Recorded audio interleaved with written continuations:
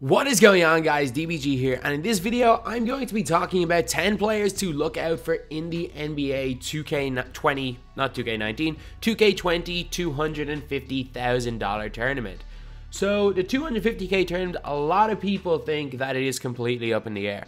And while all the players that I mentioned here are definitely, not all of them are, are guaranteed to qualify, heck, maybe only half of them will qualify. These are guys that you should look out for near the top of leaderboards who are going to be consistently right up there. So one player I was going to talk about in this video was Valor. Valor was a qualifier last year. He reached two tournament finals from, well, my team Ranker tournament finals last year in NBA 2K19. So he is an absolutely elite player. I just couldn't find any footage for him, so, or people playing against him even, so I couldn't really put him in the video. Another guys that I haven't even mentioned in this video New Edition Flash or Splash Edition, without question, is going to be right up there for qualifying. Dichotomy, if things go well. Jamo go crazy. Basically, all the top players from NBA 2K19 are going to be in with a shot at 2K20. And as always, there will be a couple of players that come out of nowhere, but they will, there'll probably be maybe two or three of the 16 max coming out of nowhere. Most of the people that will qualify will be well-known players in the competitive My Team scene, which a lot of you guys may not know about. So anyway, now let's get on to talking about some of the players to watch out for. First player is obviously turn up defense, and I also forgot to mention this is only going to be on the PS4 side because I know zero about the um, I know zero about the Xbox side. So turn up defense will definitely feel hard done by last year, especially in game one in our finals. In game two, Skip definitely outplayed him, but in game one, he seems to be completely in control. He had pretty much a chance to either ice the game or at least make it to a stage where Skip couldn't get back in the game or he couldn't win the game and he went and missed a 92% chance free throw with Kirilenko and also missed a wide open leaner which from 2K19 going went inconsistently. Turnup is an extremely good player, really good defender, great at getting in passing lanes, can really punish poor play, which is a big, big reason why I think he's going to do really well in the qualifiers because the better you are at punishing poor play, the better you are at destroying bad opponents, the better chance you have of qualifying in the way the system is right now. So Turnup's definitely someone in with a chance. So I don't know whether this guy's qualifying right now, and obviously this is not going to be Denver Struck. Denver Struck may or may not come up, but this is Brown Boy, or Uncool Matty, the point guard for the Indiana Pacers NBA 2K League team. The GOAT of NBA 2K18, my team. Like, these, this is literally the only footage I can find of him anywhere online, but um, Matty is literally, when he's at his best, he's arguably the best NBA 2K My Team player there's ever been. He focused big time on Pro Am, on getting becoming one of the first 99s last year. And while doing that, he ended up making the NBA 2K League. He's actually a former Division 1 college basketball player who I've actually been trying to get to come over to Ireland to play professionally for years, but he's decided to stick with 2K and it seems to be working out for him. Definitely, like this is a guy who I can almost guarantee you, if he tries, will qualify for the tournament, will qualify for the final 16 of the 250k tournament. I can almost guarantee that. Sorry about the poor footage, but this is the best quality I can get for Boo Painter or Shump. The top scorer in the first season of the NBA 2K League. He was actually banned from the NBA 2K League in the second season, so he decided to focus a little bit more on my team. And this guy, you can argue, is the best all-around 2K player in the world. One of the best players in the 2K League when he was in it, without question, is going to be one of the best players again in the 2K League Season 3. When you talk about exploiting the game, when you talk about cheese, there is nobody that does that better than Shump.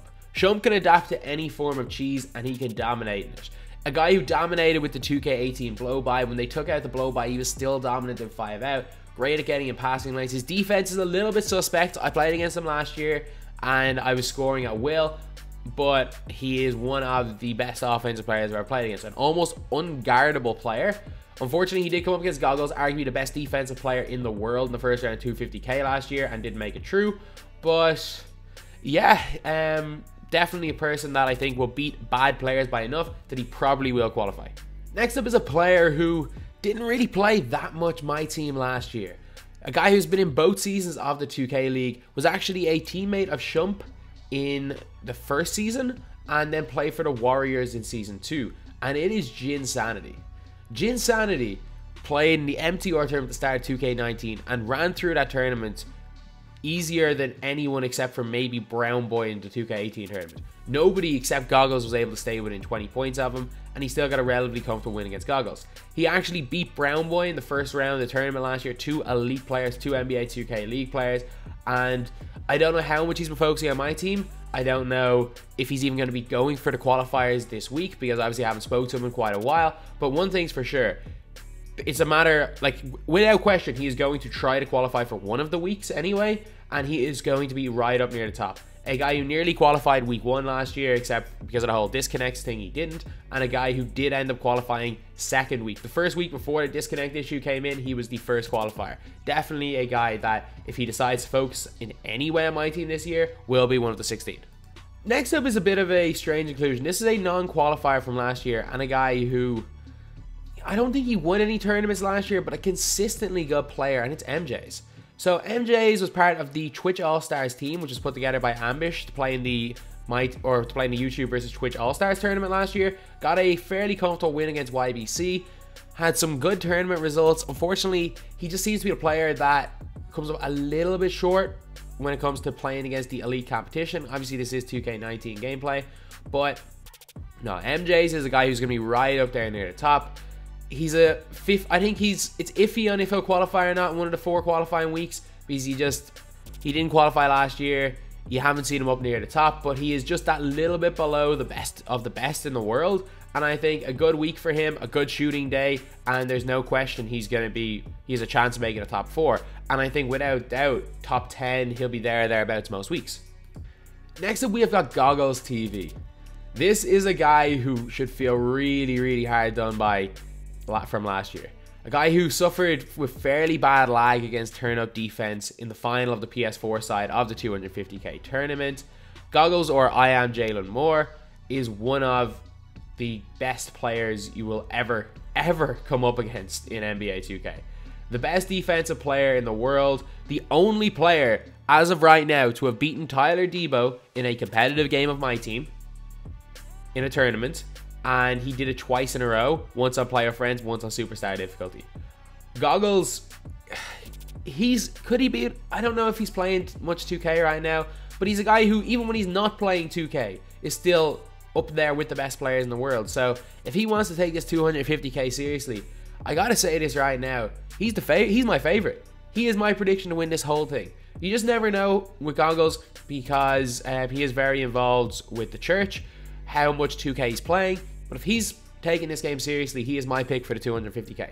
Next up is Denver Struck. I'm not even sure if he's playing this week, which is obviously week one today, but Denver has literally the best team in the game. Nobody has grinded more of this game than Denver Struck so far. Maybe Henry, but I'm going to say it's probably Denver with those 1,000 wins and triple threat offline. Denver is also a really good player. There is no question about that.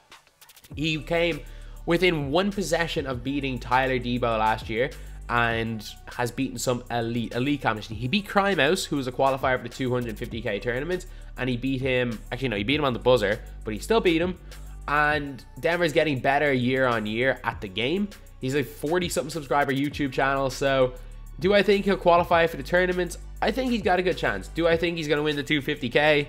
I'm sorry, Denver, I don't think is likely. But Denver is flying the flag right now for the My Team YouTube scene, and I'm just praying that at least one of the My Team YouTubers qualify this year. So yeah, we finally are onto him. I'm guessing half the comments are, where's TJ? Where's TJ? Where's TJ? And TJ O'Day is without question going to be in with a shot of winning. If it comes down to lag, he may, like he literally only lost last year because of lag. You don't know. Turnup might have beaten him. He might have beaten Turnup, but the lag was a big factor in that game. He ended up winning the Twitch Rivals tournament and just embarrassed every opponent until he played Shump or Boo Painter in the final, where that was a close game. TJ coming out on top. He's one of the larger, probably one of the largest Twitch streamers, uh, my team based. I don't know, again, I don't know how much my team he's playing. He was playing Park for a while, I don't know how much 2K he's playing, but even if he has never played my team until about three days ago and came back into it using a budget squad, he'd still be in with a chance of qualifying. He's that good at 2K. Do I think he's going to win 250k? I don't think so, but at the same time, you can never bet against TJ. He is that good at 2K. And last up is the most dominant competitive player the my team comp scene has ever seen. And it was Tyler Debo. Nobody knew who this guy was in the middle of May last year. He won Valor's tournament, reached the final of the MTR Invitational, won the MTR Cup for $500, then won the MTR Endgame Cup, and then went and won the King of Kings tournament. this guy, as well as winning a lot of other small tournaments, this guy has lost one competitive game. Well, it was a best of three and he lost 2 0, but it was to Goggles, who is, you can argue, is the best player in the world. This is a guy who in 2K19 was the most dominant player, any difficulty we've ever seen, but he was also a player who ran heavily through Giannis, and it was Opal Giannis, obviously. So it's going to be weird to see how he goes without really good players because a lot of his game plan was getting in passing lanes, was relying on high rated players being able to get some steals, was relying on being able to spam through Giannis. So I don't know how he's going to get on early, but if he does qualify at all, if he is one of those 16, I find it hard to bet against him come February when the tournament happens. He's by that stage, we will have some really high rated cards and he'll be able to play his game. So anyway, that is the video. The 250k tournament is probably going to have just about started by the time this video is up, or it will be just about to start. I'll probably end up having it uploaded. Hopefully it renders and stuff before my first game, but let's be real, I'm not going to qualify, so at some stage uh, during the day anyway, um, this video will be going up because I'm not going to last the whole way. Let's be honest, my team is not very good on console. But yeah, these are just 10 players that I think you guys should look out for and 10 players you should expect to be near the top of the list. I don't know what PSNs they're running. I genuinely don't. They could be using any um, PlayStation Network account. It could be their own, it could be others. I have absolutely no idea. But these are the players, the people that you should definitely be looking out for. I just dropped my controller there. But anyway, that's the video. Thank you guys for watching. Please like, comment, and subscribe.